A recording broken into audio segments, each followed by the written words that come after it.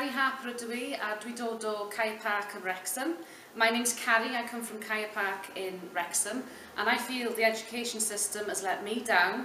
I didn't have uh, the Welsh language in school, I didn't have Welsh history in school, and now I'm having to learn as an adult. And um, I know a lot of people my, my age who haven't got their own history, who haven't got the language, and who wish they did, and I hope that changes for future generations. Diolch yn fawr.